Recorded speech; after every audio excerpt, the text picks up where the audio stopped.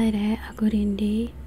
Hari ini aku mau mukbang Dan menu yang udah aku siapin ada Puyuh Puyuh balado Balado puyuh.